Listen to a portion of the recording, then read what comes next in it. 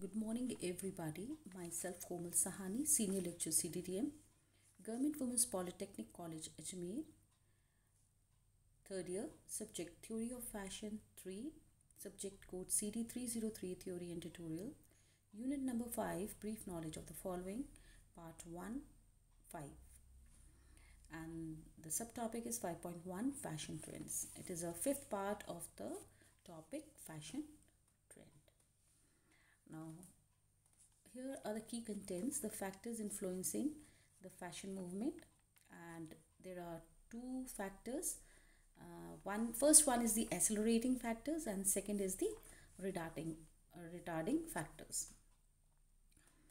Now, before uh, going through the factors affecting fashion trends, uh, first of all, uh, we're going to go through uh, the uh, go through the topic that uh, actually what is a fashion trends like uh, fashion is a style and that is accepted and used by the majority of a group at any one time and uh, fashion trend uh, is the direction in which fashion is moving so, fashion एक ऐसा style है या एक ऐसी शैली है जो कि एक बहुत बड़े समूह के द्वारा उसको स्वीकार किया जाता है और तथा प्रयोग किया जाता है। और ये जो कार्य होता है, ये केवल एक समय पर ही जब किया जाता है, तब हम उसे कहते हैं फ़ैशन और फ़ैशन ट्रेंड होता है, वह दिशा होती है जिसमें फ़ैशन जो है, वो गतिमान होता है। उत्पादक और व्यापारी जो होता है, वो प्रत्येक फ़ैशन को पहचानने का इस समय प्रयास करते हैं और ये ज्ञात करते हैं कि फ़ैशन अधिक से अधिक लोगों के द्वारा अपनाया या स्वीकार किया जाए।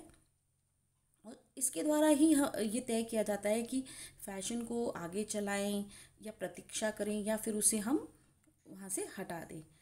जैसे हम उदाहरण के लिए कह सकते हैं कि यदि शॉर्ट जैकेट फ़ैशन ट्रेंड में विकसित हैं तो इंट्रोडक्शन और राइज अवस्था में यानी जब उसका उप, जब हम उसे इंट्रोड्यूस करते हैं किसी भी फ़ैशन ट्रेंड को तो राइज अवस्था में रिटेलर्स जो होते हैं, वो अधिक से अधिक शॉर्ट जैकेट्स का स्टॉक रखना प्रारंभ कर देते हैं। और जब ग्राहक संतुष्ट होने लगता है तो जो फुटकर होता है वो, ये, उसे ये ज्ञात होने लगता है कि अब इस शैली से में संतुष्टिकरण या सैचुरेशन जो बिंदु है, वो प्रारंभ हो गया है। तो वे अन्य शैली को प्रस्तावित करने का प्रयास करते हैं। जैसे कि लंबी जैकेट्स का अधिक से अधिक स्टॉक रखना शुरू कर देते हैं। कर देते हैं। और यदि रिटेलर्स ये ज्ञात करने में सफल हो जाता है कि इस शैली की मांग जो है वो में गिरावट आ गई है और गिरावट वाली वो अवस्था में पहुँचने वाली है तो उनके स्टॉक में क्या होता है, कम मात्रा में वे शॉर्ट जैकेट्स रखना प्रारंभ करते हैं और रह जाती हैं। लेकिन कुछ ऐसे ग्राहक या उपभोक्ता होते हैं जो शॉर्ट जैकेट्स जो हैं वो फिर भी लगातार क्या करते हैं, पहनते रहेंगे। परंतु नई जो शॉर्ट जैकेट्स हैं उसका जो क्रय है वो नियमित मूल्य पर भी वो नहीं करेंगे। अब हम यहाँ पे ये मैं ये बताना चाहती हूँ कि जो फ़ैशन होता है, वो कई बातों में एक नदी के समान होता है जस्ट लाइक रिवर जैसे नदी जो होती है, वो लगातार गति में रहती है या लगातार बहती रहती है और जो नदी होती है, उसकी गति जो होती है, कभी तो शांत हो जाती है, धीमी होती है या कभी तेज हो जाती है और तूफानी भी होती है। इसकी गति कभी भी एक समान नहीं होती है। ये उन सबको प्रभावित करती है जो उसके संपर्क में रहते हैं तथा वह व्यक्ति भी होते हैं जो उसके किनारों पर निवास करते हैं। और इसकी जो गति होती है वातावरण पर निर्भर करती है। और ये सभी जो बिंदु हैं, जो नदी से संबंधित हैं, वही सारे के सारे हम फ़ैशन में भी सम्मिलित इनको किया जाता है। और जो फ़ैशन की जो लगातार गति होती है, वो वातावरण कारक होती हैं, जैसे सामाजिक है, राजनीतिक है और आर्थिक कारकों पर भी निर्भर करती है। और जो भी व्यक्ति फ़ैशन से संबंधित होता है, डिज़ाइनर से लेकर ग्राहक तक, सभी फ़ैशन की गति से प्रभावित होते हैं और जो फ़ैशन चक्र होता है, वो फ़ैशन ट्रेंड पर निर्भर करता है। तो इससे आपको ये पता चल गया है कि मतलब फ़ैशन ट्रेंड क्या होता है, जो हम पहले भी पढ़ चुके हैं। तो आज हमारा जो मुख्य टॉपिक है, जो एसिलरेटिंग फैक्टर है, उसके बारे में हम उसको समझने का वापस से प्रयास करेंगे। तो एसिलरेटिंग फैक्टर्स में मीनिंग है that something that helps produce or influence a result or one of the things that cause something to happen with great speed फिर डेफिनेशन है the elements contributing to a particular result or situation to cause faster or greater activity, development, progress, advancement in fashion trend. अब इसका हम हिंदी में पढ़ेंगे कि fashion प्रचलन को प्रभावित करने वाले जो कारक है उसमें सबसे प्रथम है गत, गति वृद्धि कारक अर्थात एसिलरेटिंग फैक्टर अर्थ है ऐसा कुछ जो किसी चीज़ के परिणाम या प्रभाव को उत्पन्न करने या प्रभावित करने में मदद करता है, जिसके कारण बहुत तेज़ी के साथ कुछ होता है। और इसका परिभाषा है, तेज़ी से या अधिक गतिविधि, विकास, प्रगति, फ़ैशन की प्रचलन में प्रगति के कारण किसी विशेष परिणाम या स्थिति में योगदान करने वाले तत्व। तो एसलरेटिंग जो वो हो गए, जो किसी भी फ़ैशन चक्र को गति प्रदान करते हैं। ठीक है? मतलब एसलरेटिंग फैक्टर्स मीन्स दो circumstances that contributes toward a quicker और एक्सपीडाइट द रिजल्ट्स तो इसमें हम ये देख सकते हैं कि मतलब जो किसी भी फ़ैशन को जब गति प्रदान करते हैं, वो एसलरेटिंग या गति वृद्धि वृद्धि कारक होते हैं। अब यहाँ पे कुछ कैप्शंस हैं जिसमें आ, मैंने बताया कि follow the sound business trends and not fashion trends fashion is what you buy and style is what you do with it अब आता है हमारा दूसरा कारक आता है यानी कि factors affecting the fashion trends में जो हमारा सेकंड है वो हमारा आता है रिटार्डिंग फैक्टर्स अब उसका मीनिंग देखेंगे. Something that helps to produce or influence a result or one of the things that cause something to happen with less speed or no speed, delay or hold back in terms of progress or development. Second is hindrance in trends, usually offensive due to slowness or limitation in intellectual understanding and awareness, emotional development, academic progress, etc. And the uh, third and the definition is the elements contributing to a particular result or situation to cause slower pace or less activity no development lack of progress and and and, and advancement in fashion trend अब fashion प्रचलन को जो प्रभावित करने वाला जो दूसरा आ, हमारा कारक है वो उसको कहते हैं मंदक कारक मंदक कारक भी होता है जो रिटार्डिंग करता है यानी कि जो किसी भी फ़ैशन ट्रेंड को या किसी भी फ़ैशन को आगे बढ़ने से रोकता है। वो कहलाता है रिटार्डिंग फैक्टर्स तो उसका जो पहला अर्थ है कि ऐसा कुछ जो परिणाम या किसी एक चीज़ को प्रभावित करने या प्रभावित करने में मदद करता है, जिसके कारण कुछ भी गति में देरी के साथ या प्रगति या विकास के मामले में वह पीछे रहता है। प्रचलन में बाधा बाधा आमतौर पर बौद्धिक समझ और जागरूकता, भावनात्मक विकास अकादमिक प्रगति आदि में सुस्ती या सीमा के कारण आक्रामक होता है। अब इसकी परिभाषा है कि फ़ैशन की प्रवृत्ति में धीमी गति या कम गतिविधि या कम विकास, प्रगति और उन्नति की कमी के कारण किसी विशेष परिणाम या स्थिति में योगदान करने वाले जो तत्व होते हैं, वो कहलाते हैं मंदक कार्य, कारक। तो इसी तरह से हम देख सकते हैं कि किस तरह से ये दो तरह के हमारे कारक हैं जो फ़ैशन को गति भी प्रदान कर सकते हैं या उसकी गति को धीमा भी कर सकते हैं। अब हम पढ़ेंगे फैक्टर्स अफेक्टिंग फ़ैशन ट्रेंड सबसे पहले हम पढ़ेंगे एसलोरेटिंग फैक्टर्स जो कि हम इसमें देख सकते हैं, इसमें प्राय सात कारक ऐसे होते हैं जो फ़ैशन चक्र को गति प्रदान करते हैं। पहला है increased buying power increased buying power का मतलब है कि जब वाइड स्प्रेड बाइंग पावर होती है, यानी जब अधिक आय स्रोत होने से फ़ैशन में परिवर्तन जो होता है वो शीघ्रता से होता है और अधिक से अधिक व्यक्ति नए फ़ैशन की ओर अग्रसर और आकर्षित होते हैं। जिससे क्या होता है कि जो उसका कल्मिनेशन अवस्था होती है, उसमें शीघ्रता से पहुँचा जा सकता है। यानी जो सैचुरेशन पॉइंट है, या जो उसकी ऊपर वाली जो स्थिति है, उस अवस्था में हम शीघ्रता से पहुँच सकते हैं फ़ैशन चक्र में। दूसरा है इंक्रीज लेजर इंक्रीज लेजर से अर्थात है कि जब हम, हमारे पास अधिक समय होता है, आराम का समय होता है तो उसको हम कहते हैं कि जब आराम में हमारे हमारा जो समय है, वो अधिक मात्रा में होता है। तो क्या होता है? तो पूर्व में व्यक्ति का जो अधिक समय होता था, वो गृह कार्य में लग जाता था और जिससे वे फ़ैशन की ओर कम समय या ध्यान दे पाते थे। और अधिक समय होने से क्या हो गया कि विभिन्न प्रकार के फ़ैशन को खरीदने और उसको इंजॉय करने में हम अधिक समय दिया जा सकता है। और पिछले बीस वर्षों से कम करने वाले घंटों में गिरावट या कमी आई है। और वेकेशन होने से क्या होता है? विभिन्न प्रकार के परिधानों का प्रयोग होने लगा है।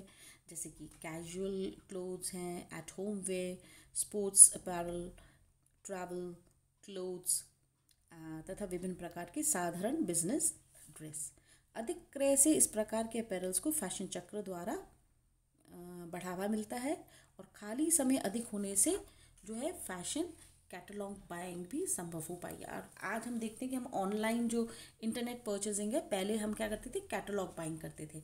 और आजकल हम इंटरनेट पे हम ऑनलाइन शॉपिंग कर सकते हैं। क्योंकि जो स्टोर से दूर रहने वाले व्यक्तियों के लिए इस प्रकार के क्रय करना बहुत ही अत्यधिक सुविधाजनक भी हो गया है। और आजकल लेजर टाइम से क्या हो गया कि लोगों ने अपने जीवन में नई शारीरिक और मानसिक क्रियाओं को भी सम्मिलित किया जैसे स्पोर्ट्स हैं और हॉबीज़ हैं। दूसरा है थर्ड है सॉरी मोर एजुकेशन अब इसका मतलब है, हमें साक्षर होना, अधिक से अधिक साक्षर होना। जो उच्च स्तर के जो साक्षर होने पर संयु जैसे कि फ़ैशन चक्र को क्या होता है? गति प्रदान करता है वो। ये मुख्यतः दो प्रकार से है, जैसे सर्व सर्वप्रथम हम कह सकते हैं कि अधिक से अधिक व्यक्तियों की जो मानसिकता में बढ़ोतरी हुई है कि जिस जिससे क्या होता है कि वह फ़ैशन में रुचि और उसकी अधिक मांग का जो है, विकसित करने में उनका बहुत अधिक योगदान हो गया है। तथा दूसरी ओर अधिक साक्षर होने से व्यक्ति अपनी इच्छा पूर्ति के लिए जो पैसा प्राप्त करने में वो अधिक सक्षम भी हो चुका है। और फोर्थ है हमारा इम्प्रूव्ड स्टेटस ऑफ़ वुमेन अब महिलाओं के स्तर में अगर इम्प्रूवमेंट होगा होने से क्या होगा कि वे घर और जॉब को भली भांति प्रकार से संभालने में सक्षम होती जा रही हैं। और जिससे क्या महिलाओं के पास आय का स्रोत होने से फ़ैशन को गति प्रदान करने में वे अपना पूरा योगदान देती हैं। फिफ्थ है टेक्नोलॉजिकल एडवांसमेंट या एडवांसेस इसमें यह है कि तकनीकी विकास में प्राय सभी क्षेत्रों में क्या हो गया तकनीकों का विकास हुआ है। और हम इसमें पहले भी हम पढ़ चुके हैं, पहले वाले वीडियो में भी, कि संसार भर में भी ये देखा जा सकता है कि आज कोई भी वस्तु शीघ्रता से कहीं पर भी आसानी से उपभोक्ता को उपलब्ध कराई जा सकती है। और ये उपलब्धता भूमि, यानी कि जल मार्ग से भी कर सकते हैं, भूमि मार्ग से कर सकते हैं, और बाय एयर भी किया जा सकता है। और किसी भी मार्ग के द्वारा कोई भी जो आपको काम, आपको कोई चीज़ चाहिए होती है, वो शीघ्रता से आपके पास उपलब्ध हो जाती है। और फ़ैशन में क्या है, नए प्रकार के, जैसे तंतु, वस्त्र और परिसज्जा में इम्प्रूवमेंट और विकास होने से हमें कम मूल्य पर फ़ैशन प्राप्त किया जा सकता है। इससे उपभोक्ता क्या है साइकोलॉजिकली और फाइनेंशियली वस्तु खरीदने के लिए तैयार रहता है। इससे फ़ैशन चक्र को गति प्राप्त होती है।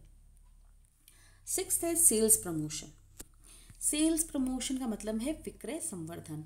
विक्रय संवर्धन से आज के फ़ैशन को अधिक से अधिक बढ़ावा मिल रहा है, क्योंकि इस क्षेत्र में अत्यधिक ये महत्व रखता है।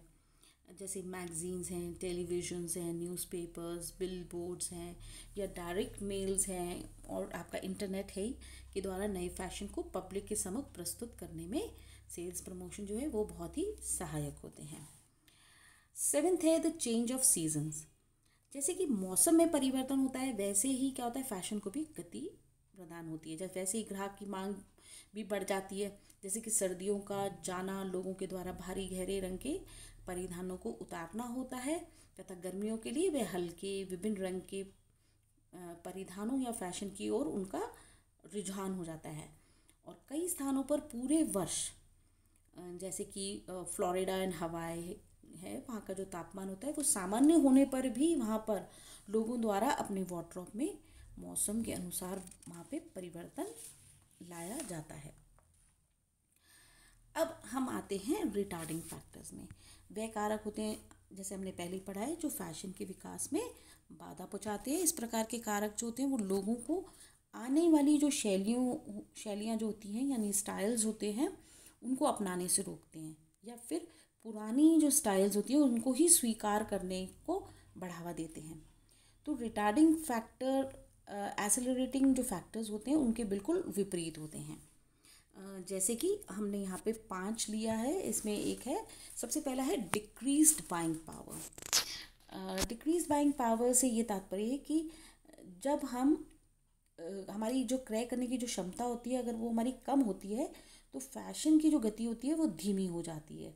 तथा फ़ैशन की ओर व्यक्ति जो होता है वो कम आकर्षित होता है। अगर आपके पास पैसा नहीं है और किसी एरिया में जैसे कुछ कंट्रीज़ जो होती हैं वो बहुत फाइनेंशली वीक होती हैं तो अगर आप वहाँ जाके फ़ैशन बेचने का प्रयास करेंगे तो वहाँ पे जो फ़ैशन ट्रेंड होगा वो नहीं चलेगा।